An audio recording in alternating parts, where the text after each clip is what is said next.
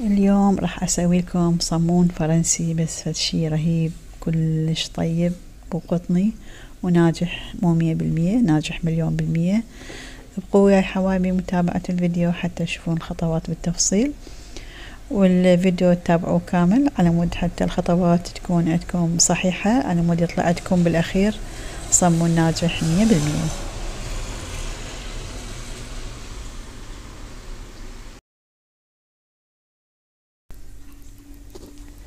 هنا راح آخذ ثلاث اكواب من الحليب السائل يكون دافي وآخذ ملعقة كبيرة من الخميرة الفورية. هاي نوعية الخميرة حبيت أشوف لكم إياها كلش كلش ممتازة. تلقوها بالأسواق التركية. وراح أضيف ملعقة كبيرة من السكر. وبيضة واحدة كاملة.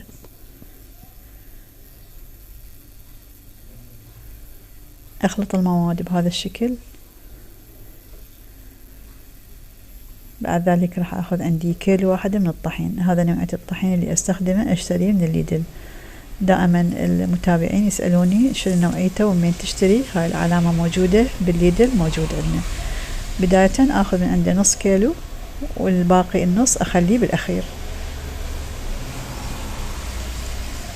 أخلط المواد بهذا الشكل إلى أن تتجانس. خلطتها كل زين. لازم ينخلط يعني زين. وبعدين راح أغطيهم وأتركهم مدة عشرين دقيقة.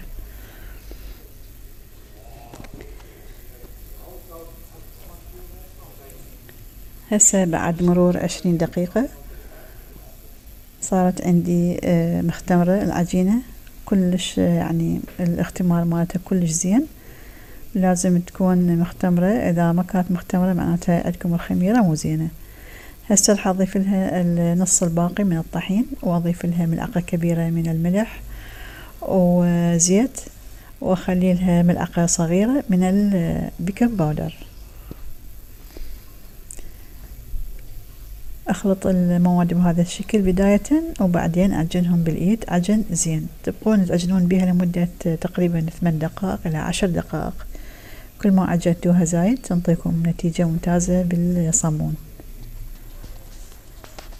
هنا بعد ما عجنتها زين بإيدي راح أخذها ومرة ثانية أعجنها على الكاونتر حتى يعني تكون عندنا العجينة جدا ناعمة ومتماسكة.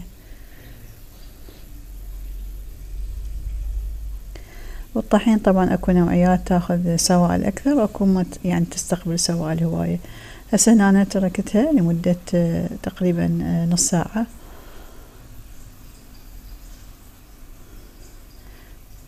بعد ذلك راح أقطعها إلى 18 قطعة. يعني الكيلو الواحد يطلع لنا 18 صمونة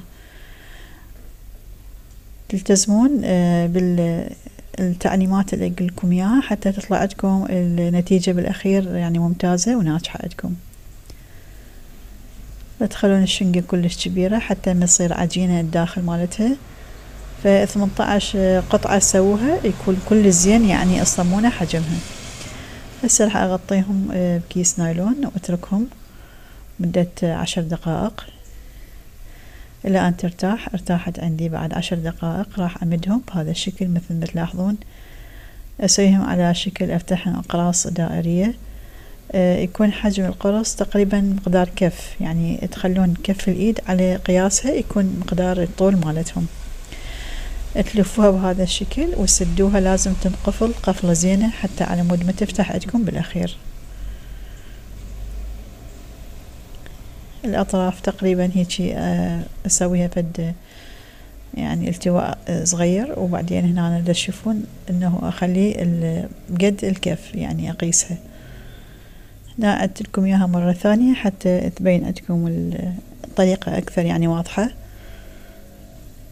واخلي لها رشة مي. السبب آه ليش خليت لها المي؟ حتى على مود متى بس عندي إذا يبست ما راح ترتفع عندكم هنا راح أخليها ترتاح مدة تقريبا 15 دقيقة. طبعا الفرن يكون مطفي. تنتبهون لهذا الشيء. وخليت هنا البخار المي حار يعني. حتى على مود تنتفخ أكثر وتكون هشة وقطنية أكثر. هسه راح اتركه هنا مدة خمسة عشر دقيقة. والفرن لازم يكون حامي. قبل خمسة عشر دقيقة على أعلى درجة. مرة ثانية راح أرشها مي حتى على مود قلت لكم ما تكون يابسة لأنه إذا كان السطح عندها يابس ما راح ترتفع عندكم ما راح تصير عندكم هالشي. هنا أنا بعد أنا كنت يعني مسخنة الفرن على ميتين وخمسة وعشرين. بعد ما دخلتهم الصواني طبعا مشغلة الفوق والجوة. الفرن بعد ذلك أخليه على درجة ميتين وخمسة وعشرين. هسه راح أصعد الصينية الجوة لأن استوت من جوا حصعدها لي فوق والفوق أنزل لي جوا حتى تستوي من جوا هنا أنا أكون الفرن مشغلته طبعا الاثنيناتهم سوا أشغلهم. هي أكثر شي تنجح عندنا بالأفران الكهربائية تكون يعني ناجحة مية بالمية.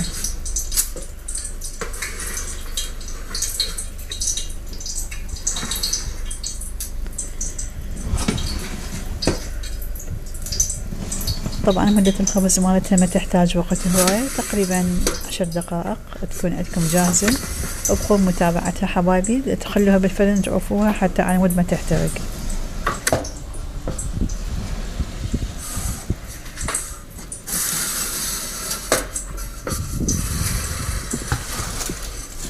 تلاحظون اللون والاستواء مالتها شقد حلو. هسه بعد ما استوت أنا راح أبخ قليل من الرشة من المي وأغطيها حتى على مود تكون يعني رطبة. إذا تبقوها هيك بدون ما تغطوها راح تيبس عندكم فلازم يعني شوية بخة مي وتغطوها. تطلوها بالزيت حتى ينطيها بعد لون أحلى. وهنا أنا صارت عندي جاهزة شوفوها يعني الخبز مالتها يعني كلش حلو ومستوية وأبد محروقة وسفنجية وهشة وقطنية. تلاحظون من أضغط عليها شلون ترجع. هذا معناته إنه جدا قطنية وجدا إسفنجية. ولهنا وصلنا نهاية الفيديو. إن شاء الله نالت رضاكم وعجبكم هاي الوصفة أرجو منكم أن تنفذوها كلش طيبة وسهلة. وتبعوا خطواتي يعني ما تعوفون أي خطوة من عندهم تنتبهوا لها حتى على تطلع بالأخير عندكم نفس الوصفة اللي سويتها. نهاية الفيديو حبايبي. نستودعكم الله. في أمان الله. باي باي